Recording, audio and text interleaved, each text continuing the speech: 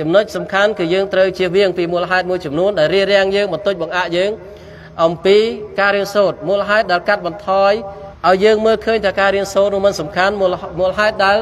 ជាឧបសគ្គក្នុងការរៀនសូត្ររបស់យើងទីមួយគឺការបាត់បង់អ៊ីខ្លោសអ្នកដែលរៀនសូត្រហើយគាត់មិនរៀនសូត្រដើម្បីបុព្វហេតុអល់ឡោះស៊ុបហានូតាឡាកន្លែងនេះគឺមូលហេតុនេះជាមូលហេតុសំខាន់ដែលបន្ទុយបង្អាក់បំណងរបស់គាត់ព្រោះនឹងធ្វើឲ្យគាត់នឿយណាយនៅក្នុងការរៀនសូត្រហើយមួយទៀតគឺ ទី2គឺការមិនអាម៉ាល់នឹងចំណេះដឹងក៏ជាមូលហេតុសំខាន់នាំឲ្យគាត់នឿយណាយនៅក្នុងការរៀនសូត្រដែរហើយមួយទៀតគឺការមិនរៀនតាមលំដាប់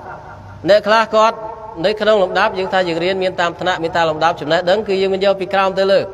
អ្នកខ្លះគាត់រៀនជួនកាលអបការហ្វារឌូមិនតន់ដឹងផងគាត់ទៅរៀនអបការខិលាហ្វអ៊ុលម៉ាឧទាហរណ៍នៅជជែកគ្នារឿងខិលាហ្វអ៊ុលម៉ាគណៈពេលដែលគាត់មិនតន់អ៊ីតកនរឿងហ្វារឌូរឿងបការហារ៉ាមតន់ច្បាស់ផងហើយគាត់ទៅរៀន អបការដែលអ្នកដែលថានៅក្នុងលំដាប់ខ្ពស់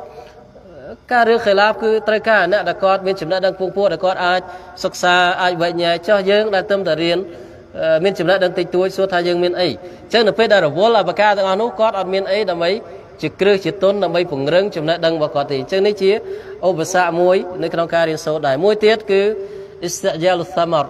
នៅពេលដែលយើងតក់កុហលចង់ឃើញផលលឿនចំណេះដឹងនេះ មិនអាចខ្លាយជាអ្នកអាលឹមក្នុងរយៈពេលមួយខែមួយឆ្នាំទេយើងរៀនជួនកាលយើងអត់ដឹងថាយើងចេះទេតោះតែយើងចប់យើងមកប្រឡូកពេលនោះយើងដឹងថាចំណេះដឹងដែលយើងខំសន្សំទុកពីមុនមកគឺមានប៉ុន្តែបើអ្នកខ្លះគាត់ថារៀនមួយឆ្នាំហើយដូចអត់ឃើញចេះអីសោះចឹងពេលខ្លះការតក់កុហលផលនេះគឺធ្វើឲ្យគាត់បាត់បង់ឆន្ទៈនៅក្នុងការបន្តនៅក្នុងការនៅក្នុងការរៀនសូត្របាត់បង់ឆន្ទៈនៅក្នុង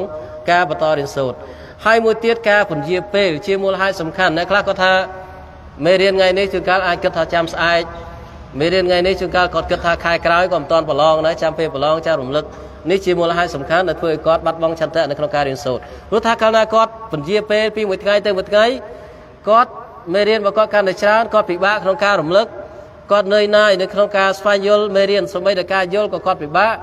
ការចងចាំគាត់ពិបាកអញ្ចឹងជាមូលហេតុនាំឲ្យគាត់បោះបង់ឆន្ទៈនៅក្នុងការរៀនសូត្រ អញ្ចឹងកន្លែងនេះដើម្បីរក្សាឆន្ទៈរបស់យើងគឺរំលឹកមេរៀនជាប្រចាំតាមដានជាប្រចាំកន្លែងដែលមានចម្ងល់គឺសួរតួនសួរគ្រូយើងជាប្រចាំនេះជាកត្តាសំខាន់ដែលអាចរក្សាឆន្ទៈយើងនៅក្នុងការរៀនសូត្រអញ្ចឹងនេះជាអ្វីដែលខ្ញុំចង់ចូលរួម